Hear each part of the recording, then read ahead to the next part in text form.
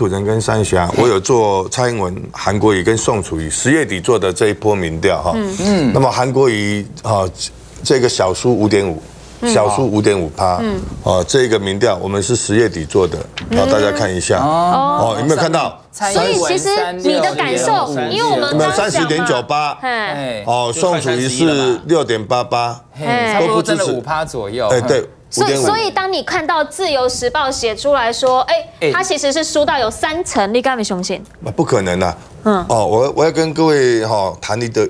就是说赖清德所讲过的一段话啊，赖清德讲就是说韩国瑜哈是这个百年难得一遇的这个政治奇才。是啊，哦，这个朱立伦刚刚有讲就是说这一个呃韩国瑜是非典型的打法。那么去年在这个高雄的时候，韩国瑜的打法就是说这个爱与包容，嗯，好，他就不打这个陈陈泽南的过去，一他不如果角色意味。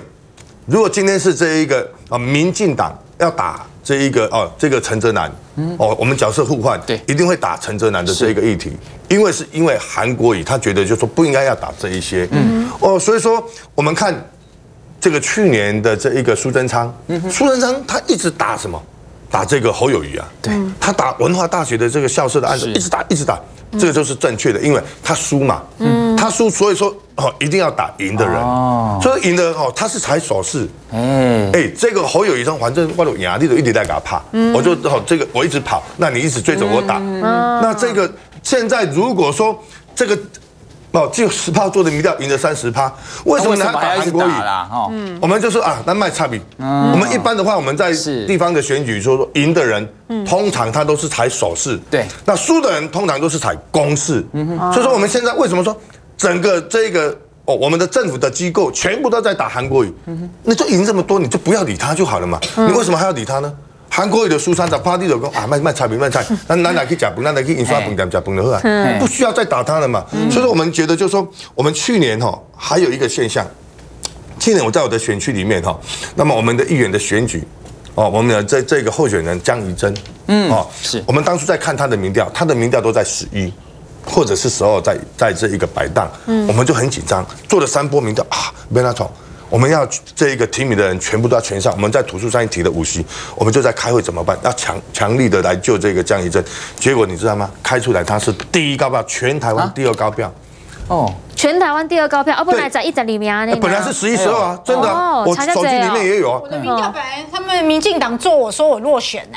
哦，真的。对啊，民进党拿着一个民调到处去跟国民党说，你们不要帮他了啦，他会落选。哦，对，所以说选举先进一前摆讲过丢了。我们看这个是我们五旗必须要全上嘛，因为我是书记长嘛。那我们在这一个跟呃侯友谊跟朱立伦，我们就在一起开会，说怎么办？书记长，那这江宜珍要怎么办？我说，那全力支持抢抢救他。哦，我们都到处喊江宜珍一定要上。结果民调这个结果票投出来，天哪，拿了四万多票。是，对啊。所以说民调哈还是仅供参考了。我们但但是我们可以确定一个原则，就是说，一般。在我们的一般的传统的选战的打法，一定是输的人，民调输的人才去会打。这一个赢的人，那赢的人通常都是采手势，不管他，反正我们就不管他。所以我们现在看到这一个现在的这一个哦，蔡英文为什么一直要打韩国语？那你在担心什么？你在害怕什么？我们自己做的民调只输五趴嘛，五趴是随时会翻盘哦。是啊，有点差差近很近三趴左右的误差范围了。所以这议员刚刚这个讲法，哎，我觉得跟那个我们刚刚在讲陈问兵牧师的讲法，哎，其实就真的会比较像了。地方上的看法可能跟。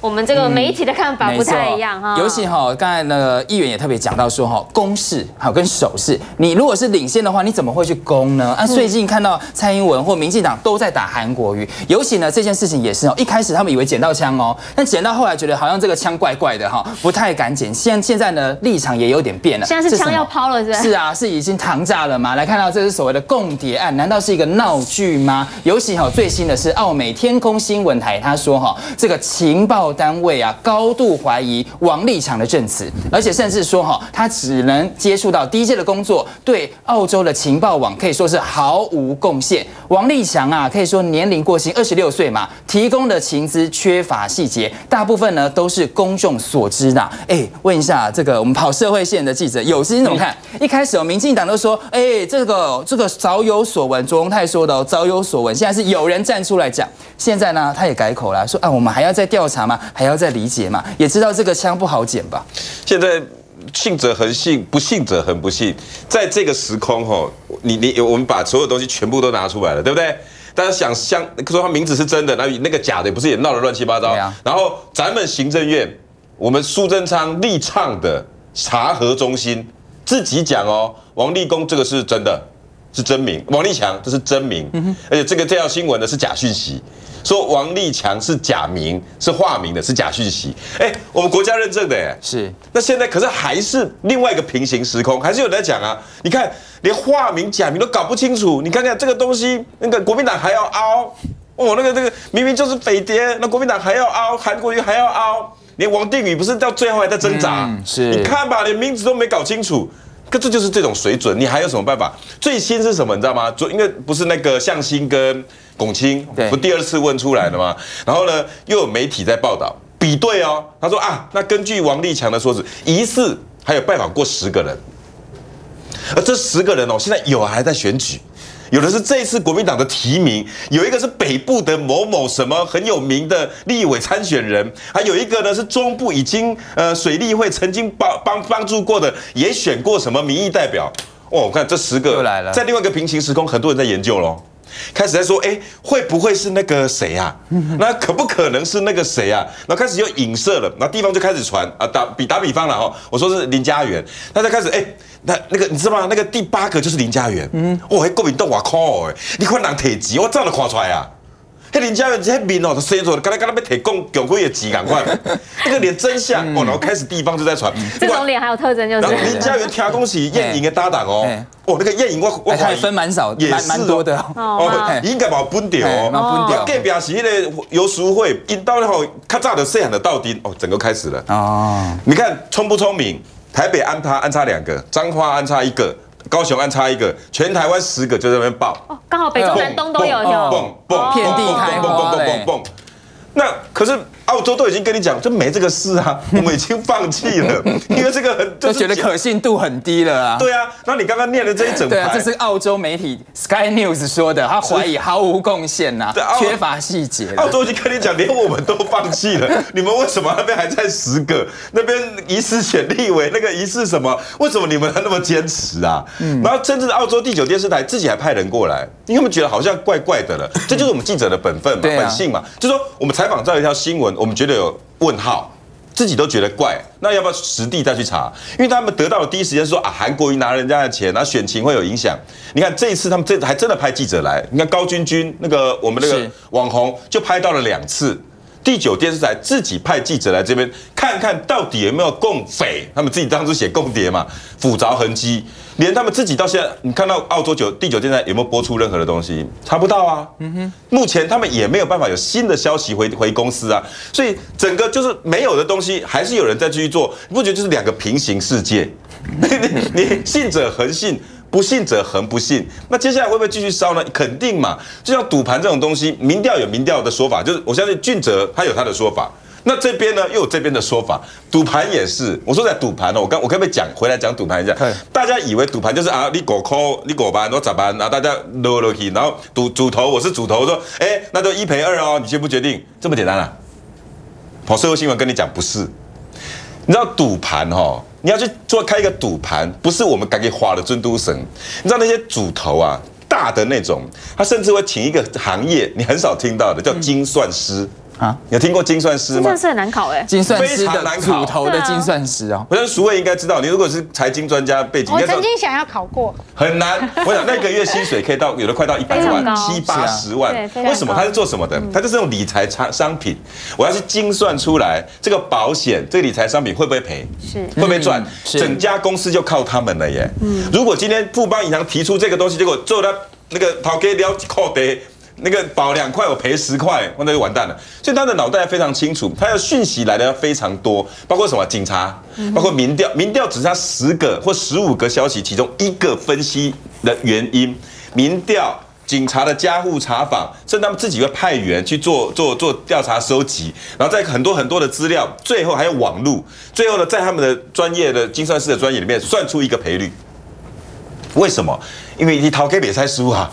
嘿，开玩笑，那我也产业，他一算输，我跟你讲，那个主头一定糟喽。所以去年韩国瑜，我看见台高雄市场那些精算是很多，不知道有没有在消波块里面，不知道怎么了，希望他们好，害了好多主头。但你看啊，就是查证什么事情其实都很重要嘛，对不对？所以呢，澳洲刚刚也讲了，有媒体真的已经被发现说，好像也来到台湾，他们要希望寻求一些事实真相嘛。其实不止一家，刚刚讲的是 Sky News 天空新闻台。就包括了澳洲《每日电讯报》，他们其实也都有头版斗大的标题，写说这是不是一个中国间谍闹剧？哎，斌哥直接用闹剧了。他们现在是怎么样？还是已经觉得办完案了？是不是？我必须说，这个案子本身就很可笑，因为当初。一出来的时候，只要是稍微比较审慎一点的欧美媒体，其实全部都是用比较质疑的角度去看这件事情，都是用比较存疑的，就是这个人讲的到底是不是事实，目前都没有办法查证。包括 BBC、包括 CNN，这些都是这样报道。只有我们台湾的一些奇怪的媒体，哇，马上抓到了，怎么样怎么样，全部都来了，实在能收钱。对啊，只有台湾的人这样，只有台湾的媒体这样做，因为这个。通通篇王立强讲的都是很奇怪的事情，每日电讯叫电讯报一个一个去查核，就发现王立强讲的，其实他为什么没有情报价值，你知道？因为他讲的东西报纸上都有写。那一个报上都有写的，我要你这个间谍干什么？其实应该当名嘴，你知道吗？我想如果当名嘴应该还蛮好。而且而且我必须说，他们觉得他还蛮厉害，就是他还蛮博闻强记，因为把台湾报纸写的东西都讲出来，好厉害，蛮厉害的，就觉得有点莫名其妙。那你他可以来当名嘴，是，对啊，其实他说真的，哎，家园发个发，我跟你讲，其实第一个，我我过去我上礼拜就讲过，其实我现在也在重申，如果蔡英文政府真的觉得王立强真的是匪谍，而且真的我有重大情报，拜托你主动提供给他政治庇护嘛，然后主动。提供你给他政治庇护之后，那安排他来上大政治大报告。来啊，没有没有问题，来跟我们讲一讲，对不对？我们大家来聊一聊嘛。对啊，刚刚他了解的，我也很想知道。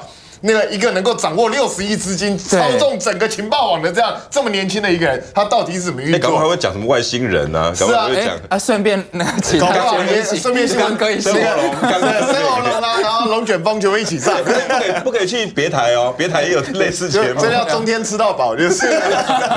但是我必须讲哦，就是王立强这个东西实在是太奇怪。嗯，正常人都不会立刻下半段说他就是真的，正常人应该觉得他就是假的。是，可是为什么会还是有人要硬要这样操作？这个心态不是非常明显是。